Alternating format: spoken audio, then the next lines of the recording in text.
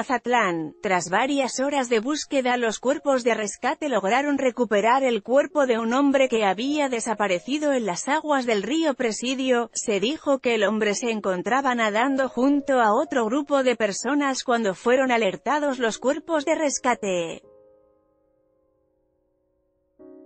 También puedes leer, muere motociclista en aparatoso choque en Costa Rica También se dio a conocer que durante este hecho seis personas más fueron puestas a salvo, pero el joven no corrió con la misma suerte y fue arrastrado por una corriente. Foto, el debate también puedes leer, fallece mujer en fuerte choque en Isla Cortés Personal de bomberos veteranos, protección civil y el grupo acuático acudieron a la búsqueda del joven.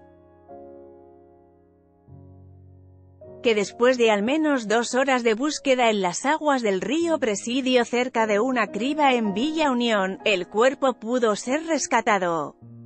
Foto, el debate Los paramédicos se dispusieron a hacer los exámenes prehospitalarios, pero minutos después fue declarado sin vida. Foto, el debate Tras pronunciar la hora de deceso, los paramédicos informaron que el joven fue identificado como Jesús Yoyan de 21 años de edad. En esta nota, accidente por descuido recuperan cuerpo arrastrado Río Presidio.